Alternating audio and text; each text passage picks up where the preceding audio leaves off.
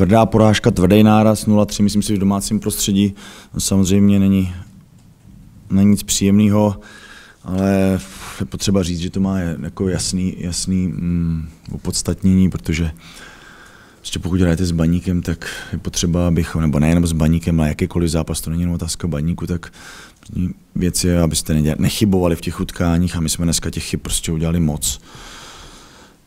I tak si myslím, že když to srovnám prostě na třeba na počet střeleckých pokusů, na počet brankových příležitostí, tak prostě baník nebyl lepší v tom utkání. Bohužel dneska my jsme byli neefektivní, udělali jsme hrubý chyby, které ovlivnily utkání ať už první nebo druhá branka a potom v deseti je velmi složitý, velmi složitý s tím něco dělat. Nemůžu mužstvu upřít snahu, absolutně ne. Myslím si, že i v tom vstup do druhého poločasu vůbec nebyl z naší strany špatný. Ale táček, mm, prostě to, co my jsme neměli, tak to, měli, to měl soupeř, kdy ať už v prvním poločase dvě, bych řekl, stoprocentní situace, jsme neproměnili druhý poločas. Vlastně podle mě úplně čistá šance od Ondry Zmrzlýho, potom následně ještě tam byly nějaký závady, v závěru chytil gol podle mě od Bennyho, takže prostě i tohle to byl faktor, který, který pak hrál roli, takže skvělý výkonný lotáčka a my jsme se prostě na ten kontaktní gol nedostali a potom, co padla vlastně ta třetí branka, tak už víceméně mm, bylo to utkání rozhodnutý. Tak prostor pro dotazy. Petr Marek. Budete vyčítat ty dvě splně dvě situace na Cíkovi? Tak já myslím, že jste to všichni viděli. My jsme dostali první gol z nešance. To není šance, to není nic. To je normálně přikrytý tanko, můžeme chválit tanka, ale ten byl normálně přikrytý pokorným, takže tam nebyla, takže Baník dal první gol z nešance, z ničeho vlastně, z špatného postavení a špat, špatného řešení prostě máci, bohužel, takhle to je.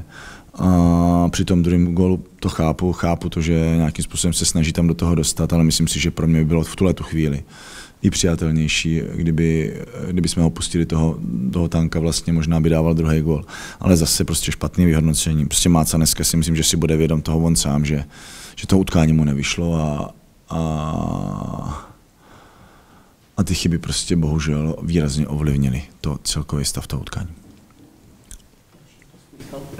Celá liga se o tom tankovi baví, vy určitě taky celý týden jste měli přípravu, jak ho eliminovat teda lépe tak vždycky to je otázka toho, že necháte ten prostor na ten finální balon, takže uh, jako říkám, t- dneska Tanko má dvě situace, jedna, jedna gólová, ale jak říkám, to, tady ta situace může nastat, to není o tankovi, to je prostě o řešení, to byla normálně zvládnutá, přikrytá situace, takže vlastně bavme se jenom o té druhé situaci. A ta nastala jenom z toho důvodu, že jsme prostě byli nedůrazní v tom eh, po ztrátě míče, nechali jsme baníku prostě ten krok dva, my jsme chtěli být agresivnější. Je to náš, to, tohle je náš problém. Prostě jo, i na Bohemce, když se podíváme optikou, my nechceme faulovat, ale jsou situace, kdy prostě musíte hrát důrazně, agresivněji. Eh, a my máme šest a dneska možná sedm faulů, prostě to je jako málo. Musíme tam dostat i tady tu tělesnost, takovou tu fyzičnost, zdat větší, větší odvahu osobní a, a tam prostě, myslím si, že Baník z toho velmi dobře vyjel a vyjel z toho, protože my jsme tam prostě ten metr, nám tam chybí ten, ten důraz jako po té pravé straně. Jo, pak ten balon za obranu přijít může, uh, Nicméně pořád si myslím, že i v plném běhu byl Ondra zmrzlý a vůbec to nebyla jednoduchá situace, pokud by pokračoval i dál do pokutového území. Jo, a, ale bohužel tam došlo k tomu, pak k tomu kontaktu k červené kartě a pak už to bylo, pak už to bylo složitý.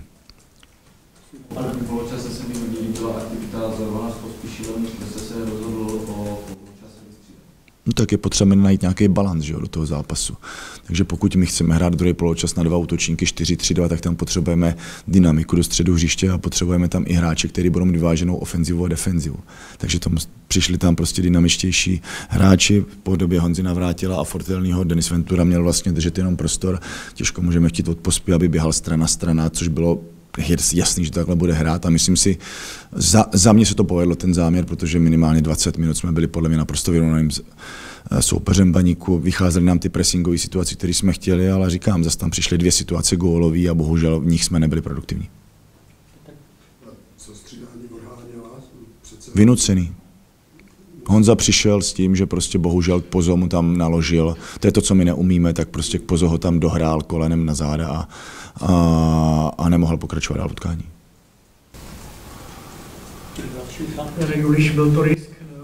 To? Mm-mm. Bylo to stoprocentní. Bylo to daný, čtyři dny se čekalo, tomu Joldovi nic nebylo. Eh, Včera absolvoval plný trénink, plný sprinty, nic, 60 minut. Normálně jsme si řekli, OK, neriskujeme, jdeme do toho, dostali jsme posvěcení od fyzioterapeutu, a nemyslím si ani, že i tenhle ten stav, že to je jako dramatický, že by v tuhle tu chvíli došlo k nějaký trhlině nebo k něčemu.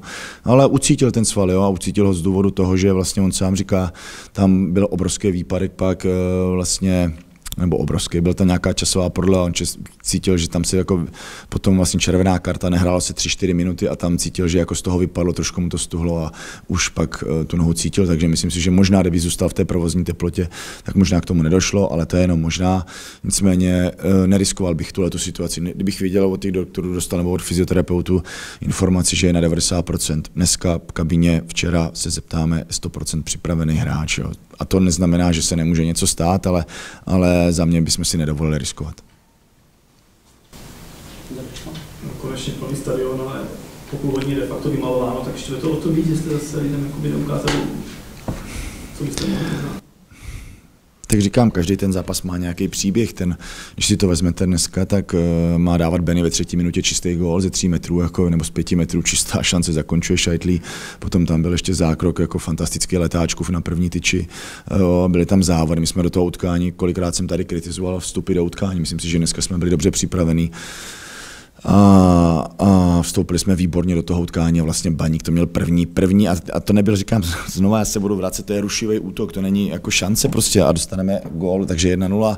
I tak následně znova tam byl dobrá pasáž jo, a vyloučení nás jakoby, mm, tam v tom jako zastavilo. Já jsem naprosto přesvědčený dneska, že tomu to bylo připravený, že i kdyby jsme šli do dvoubrankové ztráty, že prostě bychom s tím utkáním něco udělali. Ale fakt je složitý jako v těch deseti, pak je to i na tu hlavu mentalita hráčů, trošku ztráta takové té důvěry v to, že můžeme s tím utkáním udělat něco udělat. To bylo vidět v tom zbytku toho poločasu, to si myslím, že tam vidět bylo ale potom zase, když jsme do těch změn sáhli a to mužstvo nějakým způsobem znova připravili, tak, tak znova jsem tam cítil jakoby z nich sílu. Škoda, říkám znova tam, prostě kdyby přišel kontaktní gol, tak jsem přesvědčený, že, že bychom dneska tu, tu kůži Lacio neprodali do závěru a bylo by to velmi dramatický utkání. Takže dneska nám toho moc nevyšlo, byli jsme neproduktivní, udělali jsme fatální chyby, eh, zranili se nám klíčoví hráči, nebo pokud, takže jako tady v tom, pokud se něco mělo stát, tak všechno dneska špatně. Ještě k tomu zranění kramáře taky svalový, nebo? Mm-mm. Po standardce špatně, špatně došlápala, má těžké v jednom kotníku. První informace jsou takové, že minimálně 5-6 týdnů bude mimo. Dobrý den, možná tam jste se hodně zlobil, když jako pozval atakoval teďka, nevím, jestli to bylo obraz Mrzlínský, takže měl dostat druhou žlutou ven.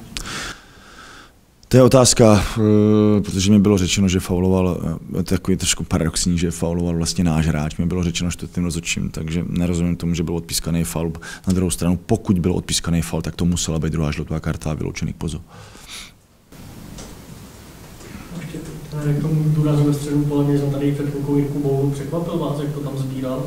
Byť samozřejmě proti deseti, No to je složitý. No to spíš mě překvapil, že byl dlouhodobě brán, nebo tak jakoby škatulkován jako hráč, který jako umí spíš rozdat a dneska zachovával klid v středu pole, uh, byl konstruktivní, takže si myslím, že, že hm, asi ta jeho role, kterou dneska zvládnout měl, byť to měl ulehčený, tak to zvládl dobře.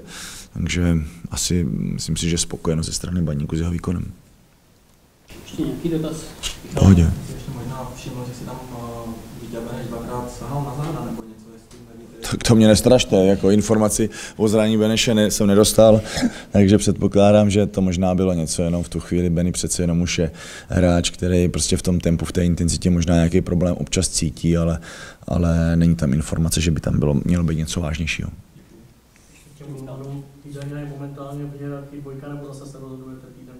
Teďka to budeme řešit, určitě musíme si na to sednout. Na příště prostě teď víme, že Máca nebude. A je, otvírá se tady nějaký prostor zase, jakoby, aby jsme tohleto vyhodnotili a aby, aby bych řekl, jako po další době s, nám brankaři trošku bych cílil na to, že, že očekám, že nám v těch zápasech pomůžou, jo? protože ve smyslu, teď neříkám, že góly na Bohemce nebo i některých předchozích utkání jdou za brankářem, ale potřeba, ale aby jsme, aby jsme, nebo abychom tam pomohli tomu týmu i nějakým zákrokem chyceným gólem, když to řeknu, protože to dneska ukázal letáček a, a díky tomu má baník, má baník dneska tři body. Že šestkrát po sobě jste doma s baníkem nevyhráli. Hmm. V, čem, v čem ten baník je tak vás nepříjemný, nebo je to jenom zhoda okolností? Shoda okolností, určitě, pane Marku. Tohle to jako dneska, kdyby nebyl vyloučený hráč a my měli produktivitu, tak se o tom možná po zápase dneska vůbec nebudeme bavit. To to z mého pohledu, prostě já jsem to cítil, bylo, bylo připravený. Je to strašná škoda, myslím si, i pro ty diváky. Dneska tady fakt se mohlo odehrát jako výborný utkání, jsem o tom naprosto přesvědčený. Uh, otevřený nahoru, dolů, jako ty hráči, jako z nich byla cítit obrovská síla, dokumentovali to tím, tím vstupem do toho utkání, těma 20 minutama, byť jsme inkasovali. Jako nebyly tam hlavy dole, škoda, no, škoda. Tohle to se prostě nepovedlo, nicméně do, OK, dostali jsme teď druhou facku po sobě, teď je na nás a, a pokud máme tady mít nějaký ten cíl a máme tady mít nějakou tu ambici hrát nahoře, tak teď je na nás, aby jsme se, být ve složité situaci tady s dalším ambiciozním týmem příští týden doma popasovali a zvládli to.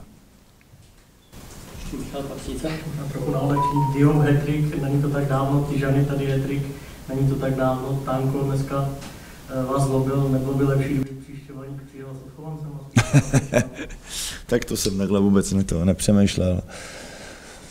tak ukazuje to spíš jako na kvalitu, na útočnou kvalitu těch hráčů, prostě jo. To, že se to podaří tady a myslím, že nevím, jestli ještě některým tom zápase, možná Tanko dával některým tom zápase předchozím dva, dvě bránky, tuším, že, ale je to hráč, který prostě má, má určitě, říkám, skvělou akceleraci, nevím, jestli má ještě dneska při vší úctě úplně, úplně úplně komplexní, jakoby to, to, tu koncovku, to zakončení, tu, tu produktivitu, ale prostě tohle to říkám, to jsou dárky, to pak to, to zakončí si myslím i, i jiní hráči, takže to není jenom o tom, že tam jsou, že tam jsou šikovní útočníci, ale, ale dneska, dneska prostě ukázal to v těch, v těch situacích, se zachoval dobře, logicky, jako má, má kvalitu a ukazuje to v těch zápasech. Párkrát jsem si všiml, že jste se rozčiloval, když od přišel nákup, hmm. Hmm, tak ono to koresponduje trošku s tím předchozím utkáním. Já říkám, my jsme sice v deseti, ale, ale Baník hraje jako systémově hodně, hodně osobky. A my, kdybychom tam je vytáhli prostě a kdybychom chtěli hrát a větší odvahu v tom, jakoby, větší odvahu tam jakoby chci po těch hráčích, aby jsme byli schopni i pod tím tlakem jako ten balon uhrát, protože vám to obrovsky pomůže v tom, že vytáhnete, natáhnete na sebe soupeře a otvírají se zase ty prostory v těch vyšších pozicích. A pokud to dáte dlouhý balon do, do připravené obrany, tak vždycky je menší šance na to, že ten balon se berete. Takže tam spíš byl apel na to, aby jsme se nebáli, aby jsme chtěli víc ten balon ještě víc, rychleji si odskočili a vlastně vytáhli toho soupeře.